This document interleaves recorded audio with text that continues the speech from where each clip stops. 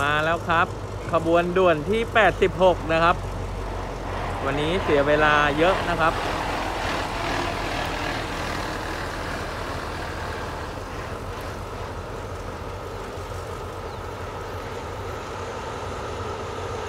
สี่หนึ่งสามหนึ่งนะครับทำขบวนด่วนที่ 86 นะครับ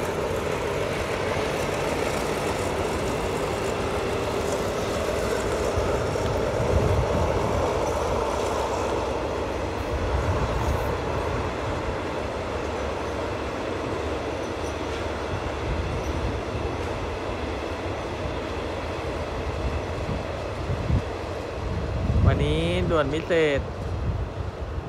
ไปแล้วนะครับที่ 43 นะครับ ไปรีกับ ด่วนที่ 86 ประมาณสถานีนครชุมนะครับ แล้วด่วนที่ 86 ก็เดินทาง ผ่าน ชุมทางหนองประดุกไปแล้วนะครับนะครับ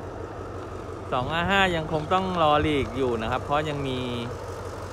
ขบวนที่ 262 อีกนะครับ ก็ฝากเพื่อนๆนะครับ กดไลค์ กดแชร์ กดติดตามกันด้วยนะครับ ถ้าชอบคลิปก็อย่าลืม subscribe สั่นกระดิ่งกันด้วยนะครับ จะได้ไม่พลาดคลิปใหม่ๆ หนองปลาดุก Channel ครับ